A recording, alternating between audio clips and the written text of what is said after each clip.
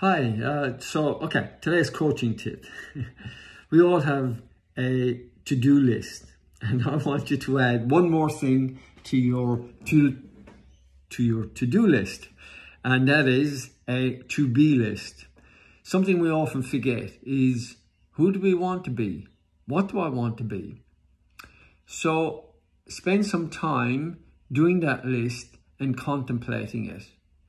And if that's a struggle, maybe reach out and share with somebody uh, your struggles with it and your thoughts around it.